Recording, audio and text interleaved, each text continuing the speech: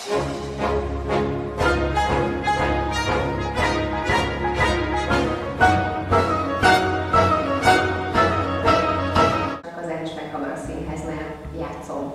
játszottam az elmúlt években. Színházi értelemben, zenei értelemben, képzőművészet oldaláról a Fészek Művészkú mindenképpen a hagyományokat őrzi, ami hagyományok alatt értékeket értek. A művészképzés az ugye kétfajta lehet. Lehet üzleti alapú, és lehet érték alapú. Inkább beszélnék az érték alapúról.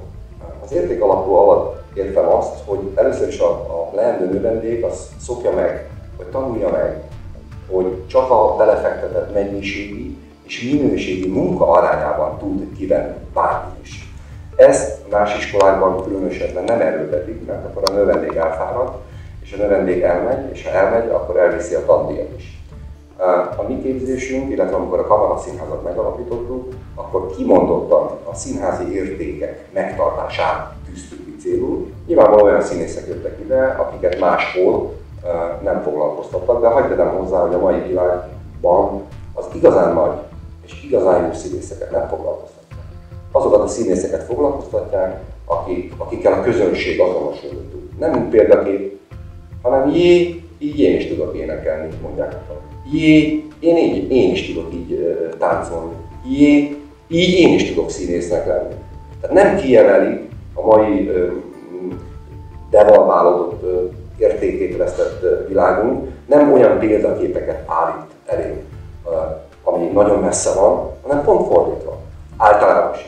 Ugye ez a Karinti nagyon szépen megírta a Gellért egy Álmod című darabban, hogy ugye van a nagy tömeg, együtt erősnek magunkat, együtt bátrak vagyunk. De az egyéni felelősségvállalás, az egyéni kockázat, hogy bukhatunk, hogy nyerhetünk, ez ma már nem létezik. Ha a Riki Zsuzsiról, Zsuzsáról beszélünk egy picit, ő egy ilyen példaképé vált? Én azt gondolom a Zsuzsiról, hogy ő, ő rossz úton kezdte, és jó útra tért. Ígérteket a... Ugye ő um, fiatal volt, szép volt, és egy felszínes világba csökkent vele, uh, azt gondolom, hogy mai napra már megérett arra, hogy értékelt bíróra éljen, megtegyen mindent, mind mennyiségileg, mind minőségileg, hogy ő maga váljon példaképé. Hozzáteszem a Zsuzsinál, ugye egy nagyon nagy baj, mint általánosan egy szép embernél mások az elvárás.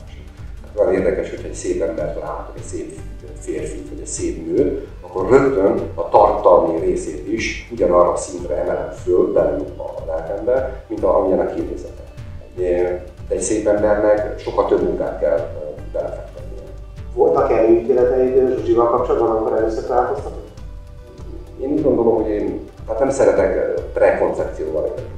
Hát én mindenkinek megadom a lehetőséget, a bizonyítványát mindenki saját maga állítja ki saját magáról. Egy biztos, hogy amikor elkezdtünk dolgozni, akkor ugye a próbák alatt rengeteg olyan, hát olyan konfliktus helyzet volt, ami abból adódott, hogy nyafka volt, hogy, hogy elustult, tehát 10-15 perc után elfárad.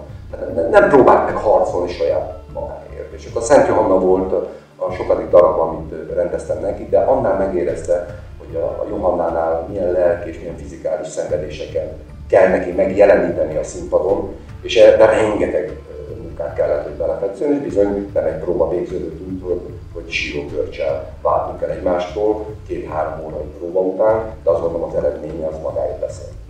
Ez kétségtelen, hogy a tehetség, ugye, az vagy van, vagy nincs.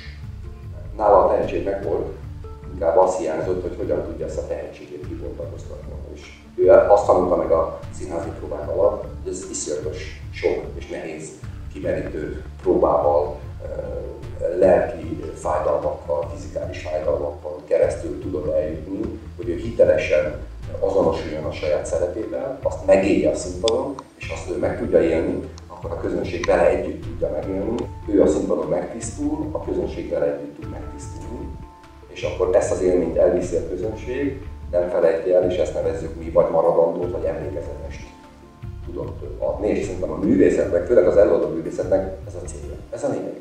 Idő kell mindenkinek, neki is idő kellett ahhoz, hogy tehát érési folyamat, és így ezt évekről beszélünk.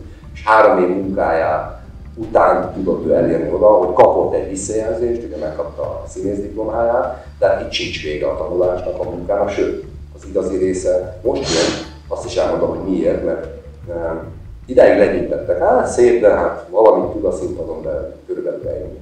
De most már rivális lesz. Te a filmes munkától óvod, vagy segíted? Szerinted egy színésznőnek, mondjuk az ő esetében az előnyére vagy hátrányára válhat azt, hogyha filmes körben is felkapják, hiszen én úgy értelmezem a szavaikat, hogy az igazi színészi munka az itt a színpadon jelenik. Igen, mert a színház az jelen idejű. Tehát azt nem lehet megismételni. Az ott és akkor, ha azt a hatást megteremti, akkor jó, ha nem tudja meg, azt, azt kidobott. Filmnél ez másik van, ugye többször fel tudjuk venni, így vágunk, úgy, úgy vágunk, mindenféleképpen hasznára lehet, és én nagyon remélem, hogy a szakma felfedezi magának őt. Sok olyan művésznőt ismertem, megismerünk, akik egy-két film után eltűntek. Én remélem, hogy ő sorsa nem ez lesz, de ennek az alapja mindig az ő emberi és szakmai hozzáállása, a belefektetett mennyiségi és minőségi munkája fogja meg. Szóval mindig azt szoktam mondani, hogy mindenki kap az életben három lehetőséget. Mindenki kap. Mindenki. Te is, a kollégák is, a nézők is, én is, mindenki kap. Én szerintem most ő megkapta a második lehetőséget az életében, és hogyha a munkával ezt hogy mondjam, meg fogja, ki fogja érdemelni az élettől, a sorstól, az Istentől, minden, minden ellenzők ugyanazt jelent, és ember tud maradni a művészetével együtt, akkor én azt mondom, hogy nemzetközileg is jegyzett, igazi nagy magyar színésznővé vált. Ha rajta múlik, akkor nem fogod elengedni a színpadról. A színpad, az, a színház az egy állandó gyakorlás helye, helyszíne neki. Ma a színházból nem lehet olyan közismerté válni, hiszen a film elvitte teljes mértékben ezt a részét.